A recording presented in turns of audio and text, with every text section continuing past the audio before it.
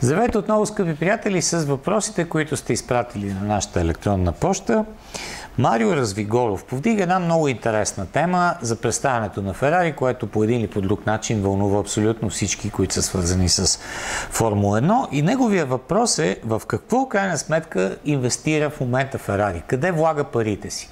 Защото не виждаме кой знае какво развитие в аеродинамиката, не личи някакъв сериозен напредък в задвижващите системи. В крайна сметка от 2022 година ще бъдат на разположение на всички екипи напълно нови изисквания към автомобилите, т.е. колите ще бъдат различни, но според правилата до края на настоящата година, до края на 2020 година, Ферари не може да инвестира никакви средства в изграждането на колата си за 2022 година. И естествено, при положение пък от друга страна, че от следващата година в сила влиза бюджетния таван, ограничението от 145 а, милиона долара, много хора наистина се чудят как, какво се случва с Ферари, как по какъв начин те а, търсят излизането от кризата, в която безспорно се намират в момента. Отговора на, на този въпрос е свързан с първо преструктурирането на целия отбор. Там има едни много сериозни наистина изменения, които се правят за това как да работи технически екип на Ферари в следващите години. Знаете, Рико Кардиле поема целият технически департамент реално и Оран Меки ще бъде човека, който ще ръководи нещата на пистата, а Биното се отдалечава все повече от тази сфера и става класически тим принципъл.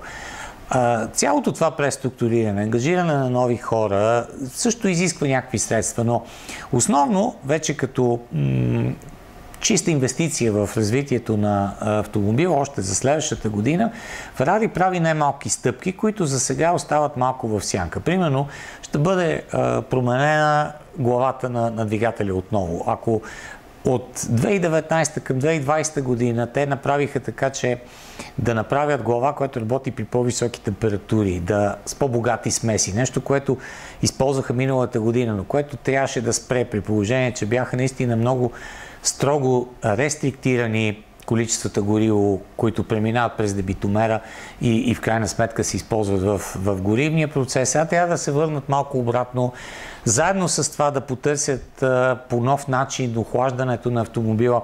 Подробен материал за всички тези неща, които правят специално в тази сфера Ферари, има в последния брой на списанието ни което би трябвало да излезе съвсем скоро отново в а, а, електронен вариант, но в същото време Ферари трябва да направи доста промени в, в аеродинамиката, защото колата им беше направена пак с желание от 2019 към 2020 с повече притискане, защото те губеха в бавните сектори. Сега трябваше този автомобил с а, повишение коефициент на челно съпротивление с повече натиск да работи с по-силна задвижеща система. Но нещата не се получиха и оттам идва в някаква степен и целият конфликт в самото представяне на Ферари. Така че Ферари сега работи по онова, което ще има възможност с изменението на трите токена, на трите сфери, последно са три, не са две, в които ще промени колата си. Примерно пода ще бъде много различен от този, който има в а, а, настоящия автомобил на Ферари. И Ферари инвестира голяма част от времето си в промените, които ще бъдат направени за 2021 година.